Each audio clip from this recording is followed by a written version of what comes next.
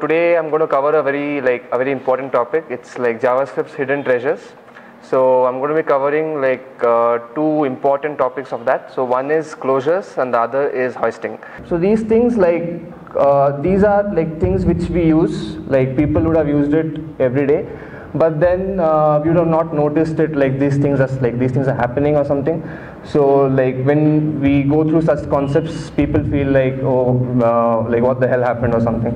So i'm going to start by so so this is like pretty weird comparison like uh, between uh, coffee with karan and got so and so like that's what like when people see JavaScript, they see it as a simple language, like, and then when uh, we go through all these uh, topics like hidden things, so then we realize what JavaScript actually is. So it becomes like much more complex. So the first topic which I'm going to consider is uh, closures. So like uh, the, the topic closures, like first let me go to the definition of closures. So a simple uh, definition of closure should be like a function like in which you can have access to the parent scope. So everything like even if the variable is not declared in that scope, even if it is in the out, outer scope, that is the parent scope, you can still like the function can still access that variable uh, which is like not in this scope but in the outer scope. So to understand that we need to like uh, consider what are scopes. So yeah.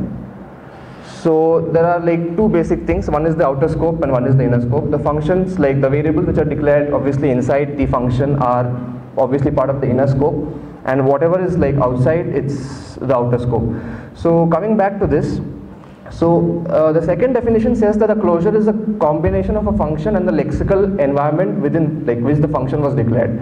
So by lexical environment, what I mean is that like uh, whatever functions we declare, that uh, it, the lexical environment takes care of those declarations as well as like assignments. So coming to the yeah coming to this so this is a pretty simple example of a locally scoped variable. Like we have defined uh, words variable words equal to high inside uh, this inside the function. So this is a locally scoped variable. Similarly here variable uh, like variable words is outside the function so it is globally scoped.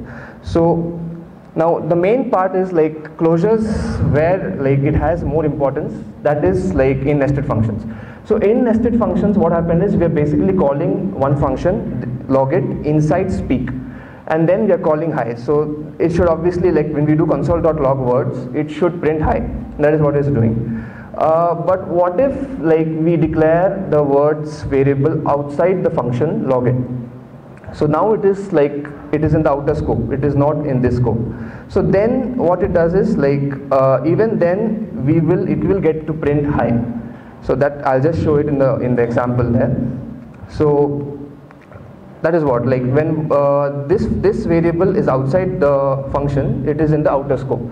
So this uh, basically should throw an error actually because JavaScript is a um, it's an interpreted language so every line is counted as one. So with each line, so here we see that words is not defined like as of now. So then when we call console.log, so words comes outside the function and then even if even if it is like outside the function, we get to see the uh, output. So closures like basically allows us to do three things. Uh, first thing is like uh, whatever we have defined, uh, the variables can be outside the scope of the function and second is like uh, the inner function can refer to the variables defined in the outer scope, outer function. And uh, inner functions, what they do is like they store the variables by reference and not by value. So I'll just uh, show an example.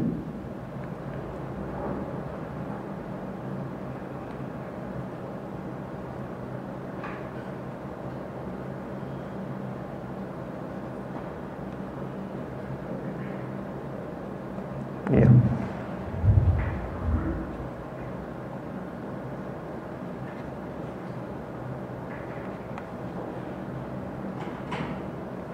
Okay, so let's look at a, like a very simple example here.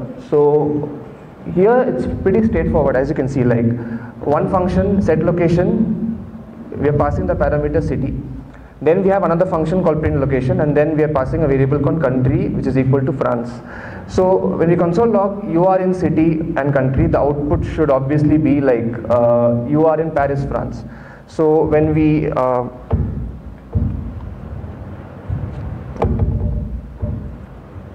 yeah, uh, when we look at the output, it is obviously you are in Paris, France because we have declared it inside. Now what if we just uh,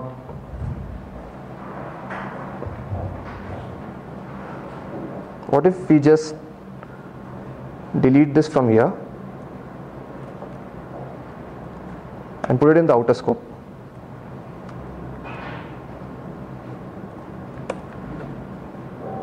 like even after like now the country is outside outside print location and we are calling country in this function. So if we print it like if we console log it still prints like you are in Paris France. So this is basically like the essence of a closure. Like we have just experienced a closure here. Uh, the, the function print location is actually referring to the variable outside in the outer scope which is country and it is still printing it. So, so this was the first thing like uh, the like we can refer to the variables defined outside of the current function. Now what about like as I've said like inner functions store the outer functions variables by reference and not by value. So let's look at another example yeah so in this example like again we have defined a variable city is equal to paris and it has is returning two closure functions. One is get and one is set. So what get is doing is it is just like printing the value of city. And what set is doing is it is like updating the value and storing it in city. So it's like uh, this is reading and this is updating. So uh, when we call like this function city location, so my location dot get my location dot set, like we are passing a new value, and then we are again printing it. So if we just output this, so in the first instance, it is uh, getting the value Paris from this variable city, and on set, it is actually updating the value, and when we are calling get again here it is printing Sydney and not Paris. So this is like this is a good example of like showing like how it is passed by reference and not by value so the values are actually copied by reference and it directly doesn't copy the values. So and one more important part is like uh, which you have to consider is looping. What a, like these are okay these are uh, nested functions. So what if we have a loop? So for a loop it works like pretty like it's a, it's a very funny way of uh, printing the values. As you can see like there's a loop. It's a very simple function I have like uh, defined a loop here for where like a for uh, loop and then I'm just consoling like the console.log i. So like what should be the output? Like what should it print? Anyone? Just like you can just guess like what should it print? Should it print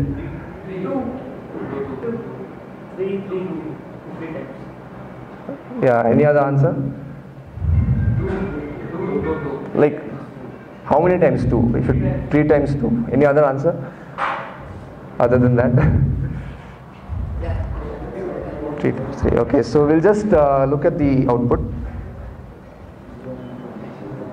Yeah it's uh, it's correct. It's like 333 but why is it printing like this? Why, why is it like why is it not printing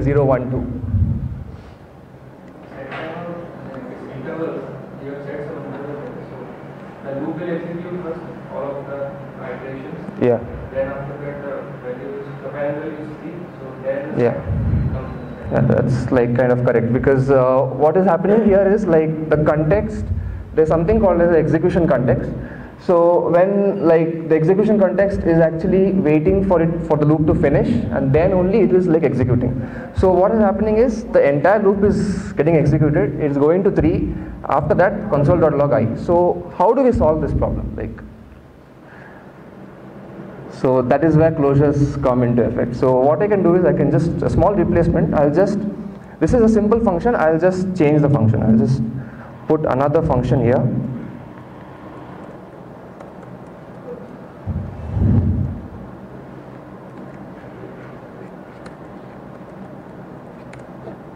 So like here, this is done.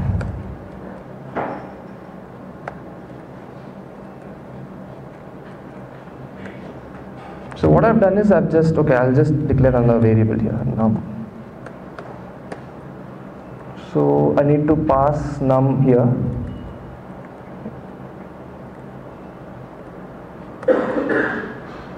Yeah. So what I've done is I've just made a small change. I've just made it a nested function. Set timeout is now a nested function. It is inside this function. And I've declared a new variable num. So now if I uh, console log,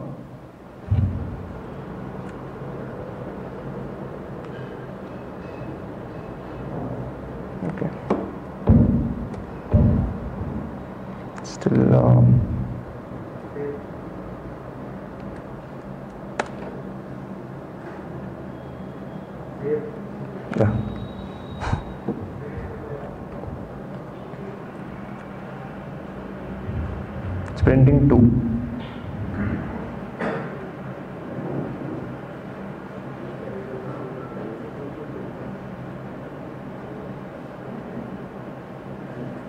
You can pass it down to that function which you execute. Yeah, like, Pass down i from there and take it down. No, not there. The self-executing function. yeah, Last but one line. This, Last one. Yeah, after that. After that. Yeah. Pass i there and take an argument num for that. this, It will solve it. Comment that on the line after that. Right. Yeah, Next no. line. yeah.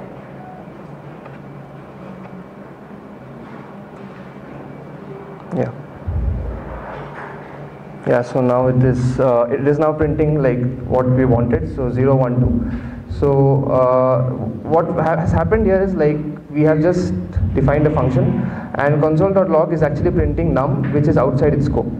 So this is basically uh, a closure. So what was happening before is that the entire thing was getting executed uh, and the loop was just going.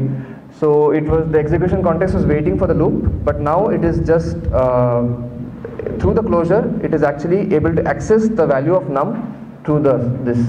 So then it is able to print. So every time like i is becoming 0, 1 and 2, so every time num is getting updated. So like this was like one of the examples like which I in loops. So people like a lot of people get confused with looping actually. So looping, uh, so this is one way of carrying it out. Another way would be like we can also use is let instead of var we can use let num is equal to i or something. So let is a, a recent technique which you can use in Chrome. So even then you will get the output as 0, 1, 2. Okay, so um, yeah, And then bind function. yeah. Yeah. Uh, I think we should go over the last one uh, real quick again, the set timeout. The Okay. previous one before this, I think people should understand that that's very important. Uh, where we got the output as 333. yeah.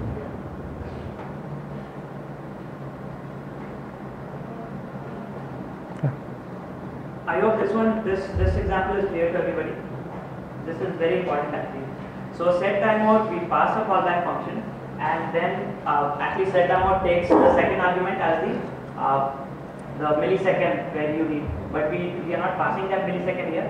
So that takes it as zero. So this function execution is pushed at the bottom of the execution interruption. So that function will be executed once the once the for loop is done. Okay, and once that is done, then we are executing that function three times, and then we have the value of i as thing. I hope It doesn't get time. By the time it, it executes, it is already done. Like i is already updated to 3. Because like, uh, timeout with, without a second argument, I think it gets Yeah. uh, the value zero. Yeah. So it gets pushed to the next execution, Hmm. next event loop. Yeah. And in the current event loop, we have that for loop. yeah, So those functions are executed once the for loop is uh, Hmm. executed in its yeah. So, yeah, then all of them execute together. Like all of them execute and only then it is printed. So then you have like, by the loop is finished, you print i. Guys, if you have questions, do ask. This is very important. Okay. And the next example. Yeah.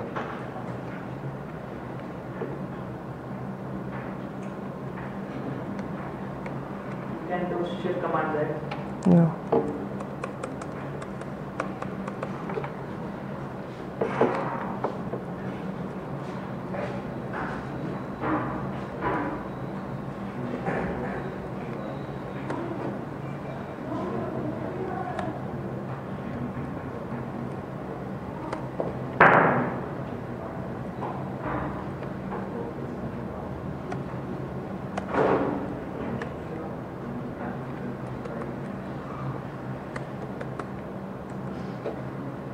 So here we have a wrapper function and that is self-executing.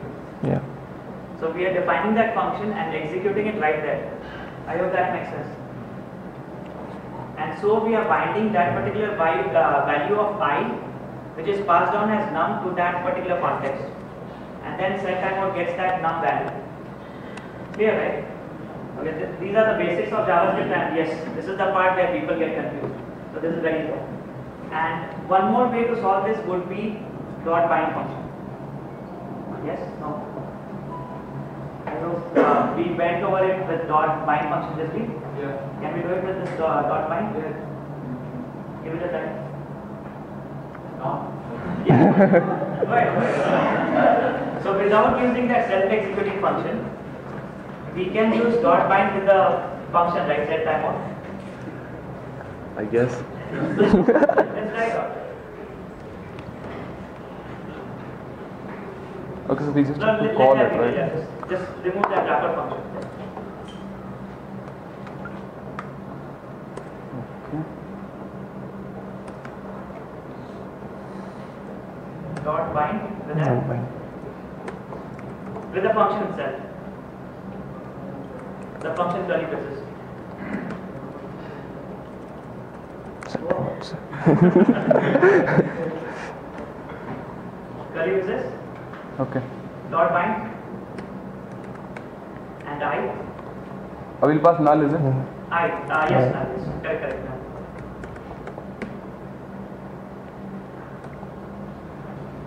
And then that function gets in the value of i as now. The first parameter is. No. This is also fine. Execute this okay so this num is getting updated with the value of i so that's done here is it? Yes yeah that's fine. This this is correct. Sprint. Command shift n. No no no good yeah. Yeah.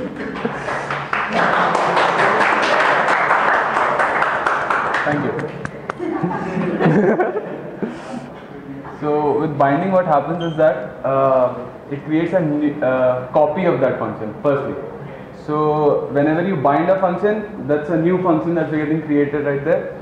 The first argument that you see null, that is the value of this inside that particular function that we are calling, and the next value is i that we are passing as the first argument to our function where we declared num. So i is getting passed as num into the function and it executes. So, So why binding works, I don't know. So uh, the previous example, just uh, it had like three functions getting created in the loop, and all three functions were actually replica of each of them. Right? They were just similar to them. But here, what we are doing, we are creating a copy of this function which we have defined here, and using dot bind, we are freezing the value of first parameter. If you use dot bind and pass null space something, so that something is frozen as the first parameter of the function. So when this is executing in the loop itself, we are creating a new function which has that value of i bound as the first parameter of that function. That was a bit complicated, but yeah, that's it. Okay, I'll Yeah. explain this later. Yeah, Yeah. Yeah, okay, so, so we're done with uh, closures. So now we'll move on to uh, hoisting. So hoisting is another uh, very good hidden feature in JavaScript. So uh, like, yeah, so yeah, so like what is hoisting? So hoisting is something like it's very general, generic. Like so, any any declaration, any function declaration is actually pushed onto the top of the scope. So, uh, but my, keep in mind like only declarations and uh, definitions are uh, pushed up, not the expressions. So something like this. Okay, let's test this out. Yeah. So again, I'll just ask like, uh, we are printing not yet declared three times. Once here, uh, once here and once here. So what should it print? What should each of them print? I'm actually like, this code looks like it's prone to errors because console.log is called before even it is declared. So in any guesses like what should each of them print? Like what should the first one print? What should the second one? I'm printing console.log two times inside hoisting and I'm and we are also calling the function hoisting before even if it is like it's declared. First will, now it is declared and then declared differently three times. No, what should it print? Like what should be the output? Yeah. And the first one should print. Okay. Second one? Now it is declared declared. Yes. So it's so it should be like undefined. Now it is declared. Okay, we'll just check it out. It prints undefined, undefined, and uh, declared differently. Uh, first of all, it's not throwing an error because of hoisting. Uh, console.log, it's uh, we are calling console.log before the variable is even declared, and we are calling hoisting function even before we have declared the function. So what is happening here is, I'll just explain it through the slide. This was the example we took. So like there are there's something called as execution context as I told you. So there are like two types of execution context. One is a global context and one is the function like when we are calling the function it is the function's execution context. So it's like a stack. So first you have the global uh, execution context called then as soon as you call the hoisting function it is pushed onto the stack. After hoisting has completed execution hos- hoisting is popped out and we again have the global execution. So this is basically how it works because uh, that not yet declared has access to like again it checks the lexical environment of it. If it doesn't find that identifier it goes to the outer scope. Outer scope in this case is global environment. And uh, whenever like in javascript whenever we declare any variable any function only declarations it is uh, always like it is stored in a parameter called environment it is already stored. It is stored in a parameter called environment and then that is why like when you're calling here like that is why when you're calling hoisting here even before like the function is defined it's not throwing an error. Because the variable like the function and the variable has already been like wherever you're declaring whichever lexical environment you're declaring it it is actually storing it in that environment uh, parameter. So what is happening internally i'll just show you so okay. Yeah this is again that like it's explained again. It works in two steps. The first step what it what it does is it just whatever expressions we have or whatever uh, like uh, declarations it is first copied onto it and then the javascript code is executed. So when we come back to our code it it had printed undefined undefined. So now i'll just show you how it is happening like. So uh, through an example. So here I have a function called show state. So show state is declared here. So I have written here function declaration, and this is a function expression, and I'm calling show state right at the beginning of the code.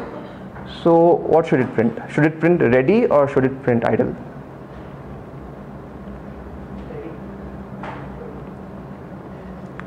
This is a declaration. This is an expression. So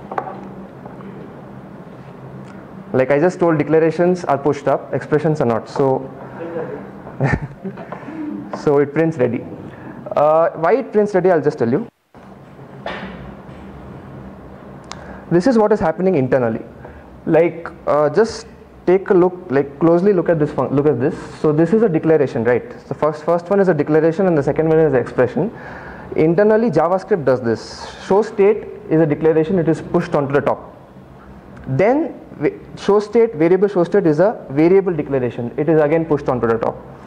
Then this is a variable assignment. Assignments are not pushed so it is left in place. So our function declaration and our variable declaration are pushed onto the top. Then show state is called.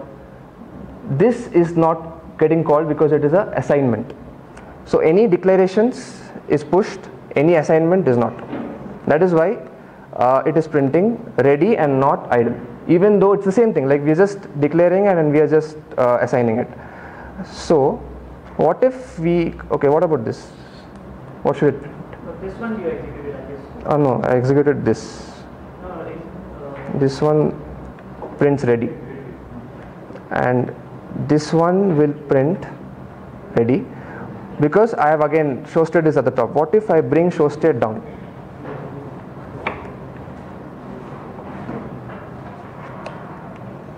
Now what should it print?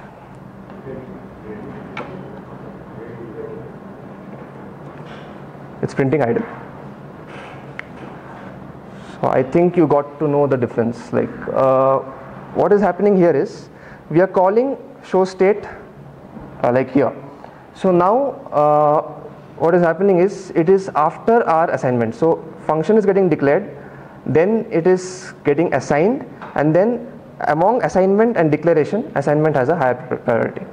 So this time it is assignment. What if I move show state again? what if I like delete it I'll just check it out and bring it in the middle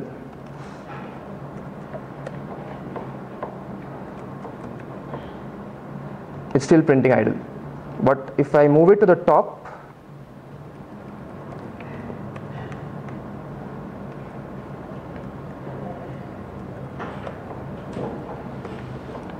it's changing to ready. So what we can conclude is that like this function when you are calling it like above whatever declarations we have like whatever declaration this is a declaration this is not a declaration. This is an assignment. So any declaration is actually getting pushed onto the top and only then you have show state being called and only then you have the assignment. But the moment you are moving show state to the bottom the assignment is getting more priority compared to the declaration. That is why when you are printing it instead of ready you are getting uh, idle. So this is like this is again a very confusing uh, part of javascript but then uh, internally if you like understand how it works so i'll just uh, go through that slide again.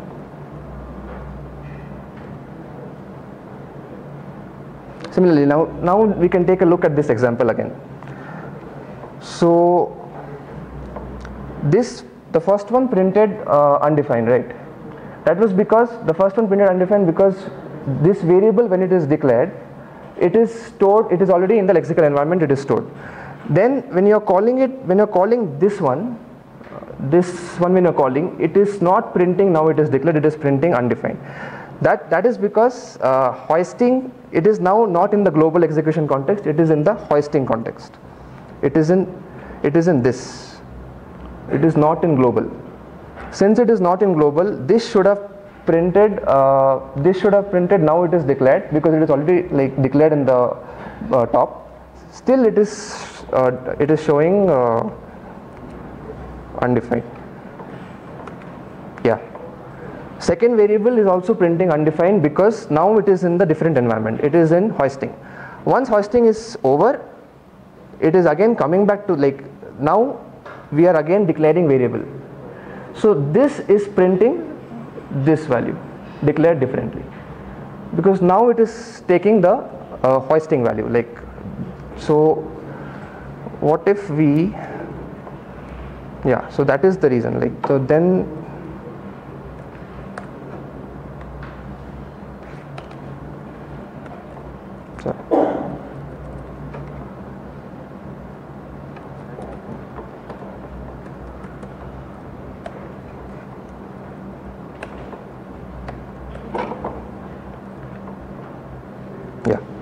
so now as you can see it's not printing undefined. It is printing now it is declared. Now why is that? Because we have moved our console.log before the hoisting. So now uh, if you go back to the slide uh, now it is in this red part. It is in the global execution context. So this gets very confusing like uh, so then when you so this function is doing the trick. So this function is being called uh, the scope is moving from global to uh, it's moving from global to hoisting that is why when you bring this down here inside this it's printing undefined. So so this is like this is how hoisting works. Yeah. So just to sum it up uh, in the first case our variable is in the global execution context when hoisting is called it moves from it this this hoisting is pushed so it comes from here to here after our hoisting is completed it again this is popped out and this goes back to the uh, global execution context yeah Yeah, So, yeah, yeah. so Can you explain a little bit about lexical analysis? Yeah. So the lexical analysis, like the lexical environment which I was talking about, the lexical environment is something which is like which uh, whatever we are defining, whatever variables, functions has been declared, it keeps track of all those variables. And it happens at compile time. Yeah, it happens at compile time. So whatever you have declared, uh, lexical environment is the one which keeps track. So your lexical environment, like whatever you define, uh, in which lexical environment you are defining, it, it, it keeps track of that environment. That makes sense to me. Others. Okay. Uh, what is the first phase of compiler design? Huh? First phase is tokenization, right? So before the function executes, if we get back to that hoisting example. So what was the result of this undefined, undefined and declared Declared. differently, right? Okay. Uh, why was it undefined? Because the first thing what we need to understand is the difference between function defined using uh, assignment and function defined using function space this thing. What is the difference? So the difference is when you use function name bracket bracket and curly braces this way of writing functions here it does not go through lexical analysis. It is not caught at compile time. So when it is sorry it is compiled uh, caught at compile time this is caught by lexical analysis. So if we execute hoisting before defining that function this is valid because that is uh, traced right before it is executed and the JavaScript compiler knows that there is a function defined hoisting before it is executed. Make sense? But if we use var hoisting is equal to something, then we get that function is undefined. Let's change that. Let's change function hoisting to uh, var hoisting is equal to function is equal to is equal to a function. So what happens in this case? Any guesses? Print Yes. undefined. Yeah. Execute this. It will say undefined is not a function. Yeah, hoisting. Hoisting is not a function, right?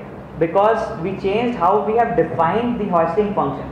Before this, it was defined using function space hoisting, which was caught by lexical analysis and it was ex- uh, available in the lexical environment. But if we use var, it is defined during runtime and it's not available. So it, it is available. So the same thing happens with the variables. If we go to the variable, the first variable, if you see, yeah, from the beginning, scroll up. Yeah. So console log not yet declared. What happens? What do we get? Undefined. Undefined. Okay. Why? Because uh, not yet declared is used with var and it is defined in the runtime. Okay. But right after that we are calling hoisting and we are doing console log not yet declared. But that is available in the global namespace, right? But even that function has that variable not yet declared, which is executed after that. So it will show undefined again in this function. So if we use console log not yet declared, so we get undefined. Why? Because we have a variable declaration of not yet declared in that function itself. Okay. If that variable was something else, then it would have caught the global namespace. Let's change the variable not yet declared to something else here. Let's add xyz. Now this hoisting function will reference not yet declared to the parent point, to the global namespace. Because within this function we don't have any lexical variable called not yet declared. Make sense? Okay. So this is very important and yes, this talk was really good.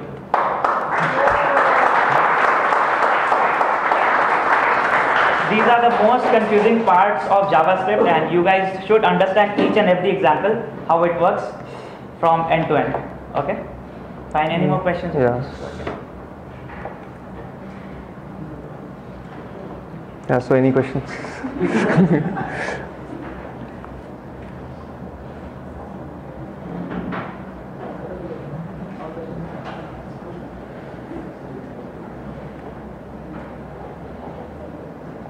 Actually, there's one more thing. Like, if you, um, what if we don't use var? Like, what if we use const or something like that? No idea. I think that gets compiled to var. Just check it. Yeah, you. You don't have ES6. Yeah. Okay. All right, yeah. Yeah. Thank you.